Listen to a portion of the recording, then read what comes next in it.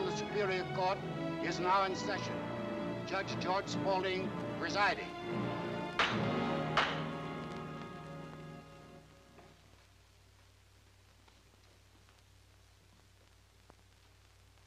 Ladies and gentlemen of the jury, it is my duty to prosecute and your duty to convict or acquit these seven defendants.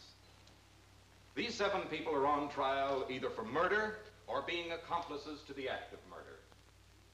What they did, they did gladly and with full understanding. They are evil, all of them, seven evil people. Look at them carefully. Because they are your enemies and the enemies of every decent citizen. They're at war with you and always have been and always will be. Should they escape this time, the next victim may be you, or you, or you. Study their faces. All their faces. First, this one Holiday Carlton, murderess. Charles Weber, John Reese. They were policemen, ladies and gentlemen, guardians of the law, accomplices to the act of murder. Keith Mandan, formerly an attorney, now the shame of his profession, accomplice to the act of murder.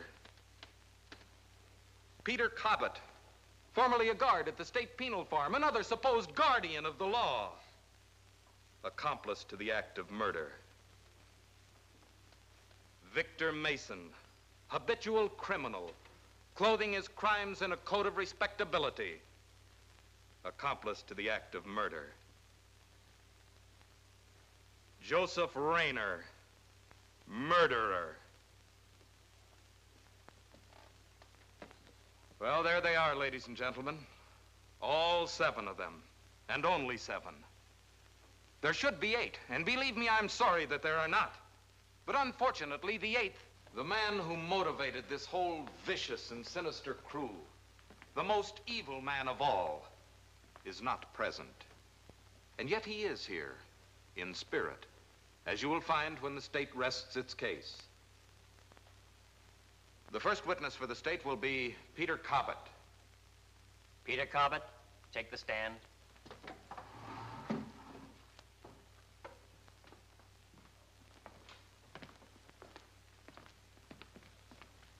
Raise your right hand. Do you solemnly swear to tell the truth, the whole truth, nothing but the truth, to help you God? I do. Take the stand.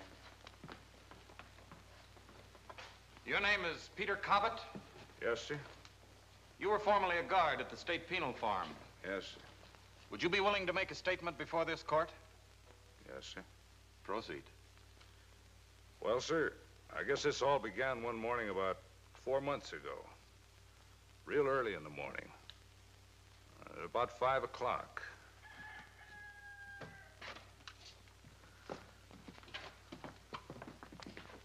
All right, kiddies, all right, let's go. Boy, this is gonna be a beautiful morning. And the little old sun is gonna be shining down on your heads all day long. And the birdies are gonna be chirping to you from the trees. Ain't that cute? And all you boys are going out and playing the dirt. Just like when you was kids again. Come on, rise and shine. Well, you know, it ain't everybody can be lucky enough to be out playing in that sun on a beautiful day like this. Yeah, that's the way. Everybody's gonna be crazy to get out in that beautiful sun and take a handful of them little old seeds and plant them in that little old earth.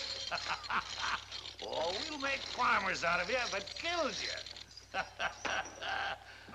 I saw in the paper the other day where some fella said there's too many stick-up men and not enough farmers. Don't worry about that.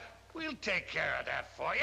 Now just put on your little shoesies and wash your little handies and faces and get out of here. Come on, you guys. Get up. Come on. Stop moving.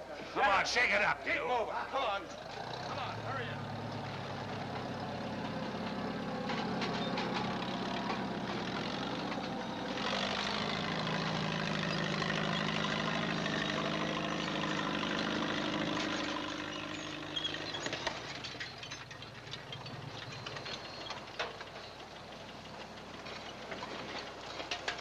It's getting late.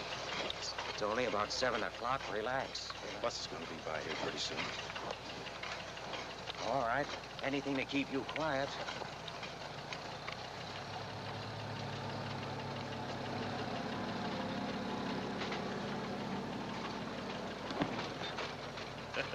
Hey, what's the matter with you? You hungry? You eating dirt? Boy, a man would think you didn't like the food you get around here. Oh, I've got a fever. I'm burning up. Need a drink of water. Falling out, second squad. Okay. Come on, come on, we'll get you a nice little drink. Over here.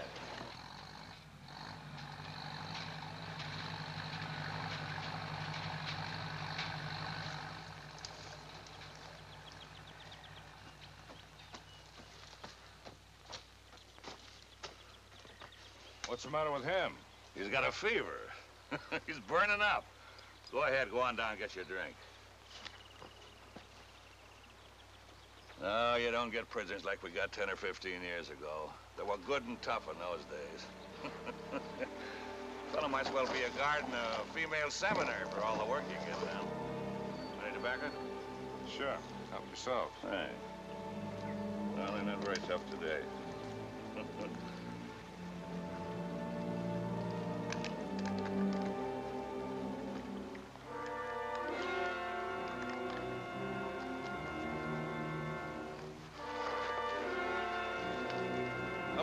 On, you. Hurry up. Thanks. All right, get moving now.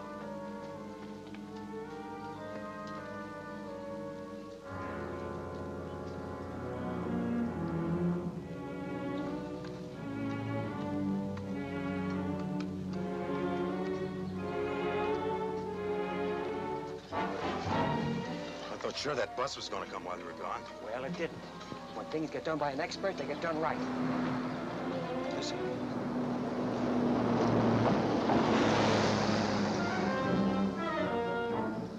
That's the bus, all right. If we get another horn in five seconds, we'll be in business. That's it. All set? You think there'll be any shooting? Won't matter if you zigzag. Hey, hey. What do you guys think this is? An Easter egg hunt? Now stop John and scatter out. That's what you say, Caesar. Now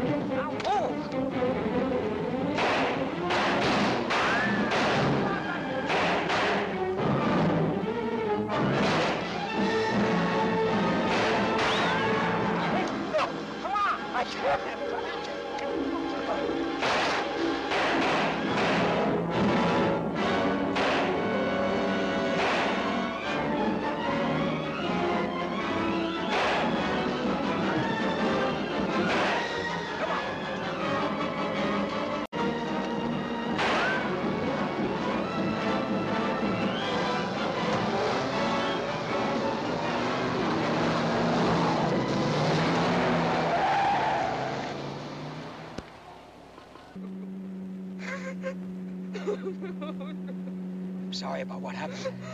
my brother, my, my only brother, and they killed him. You mean he's cold? Right through the head. It's too bad. And one of the guards got lucky. If he hadn't stopped, it wouldn't have happened. Shut up. Shut up. How many guards did you get? I didn't count. You want to go back? No, thanks. Just say the word and we'll do it all over again. There's some clothes up here in the front seat you better change. Not those, try the other ones. Oh, fancy. Better than what you're wearing. My name's Rayner, Joe Rayner. Just call me Jinx. I'm Ralph Carter. Pleased to meet you. Oh, even the air out here smells better. Oh, it's great to be alive. Say, Jinx, you better stop at some quiet gas station where we clean up.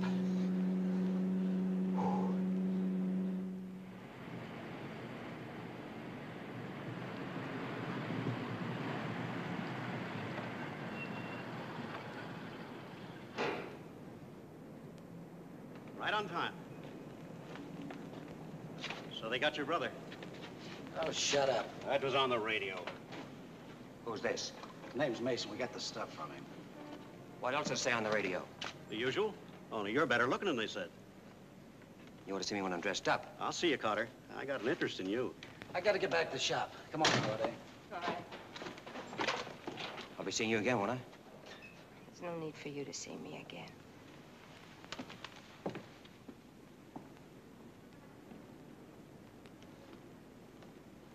So what's this shop Jinx was talking about? Radio shop. He fixes radios. Oh, he's in the wrong business the way he can drive a car. Now, you made a crack a minute ago I didn't get. You said you had an interest in me. That's right. I did this job on credit.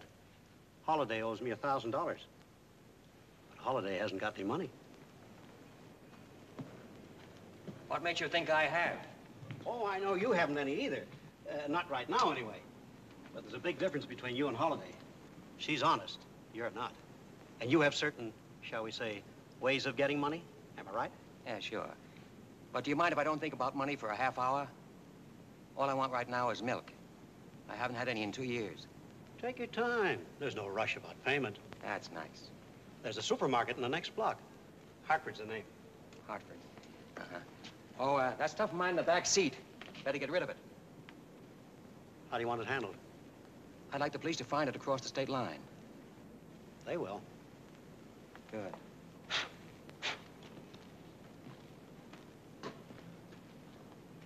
Now, Mason, where does Holiday live? Marrakesh Apartments, 101. Marrakesh 101. She goes by the name of Caldwell. Caldwell.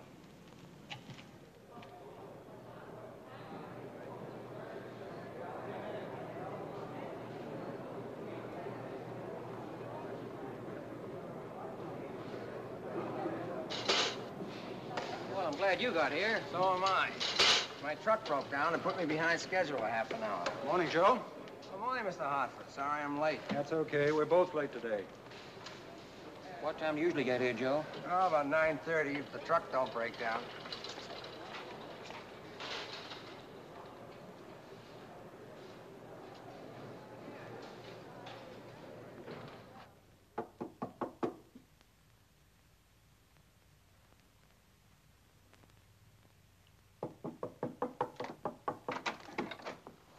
What do you want? Lots of things. Well, you're not going to find them here. You'll be surprised what a man can find. Food, for instance. Will you please leave? Leave? Just got here.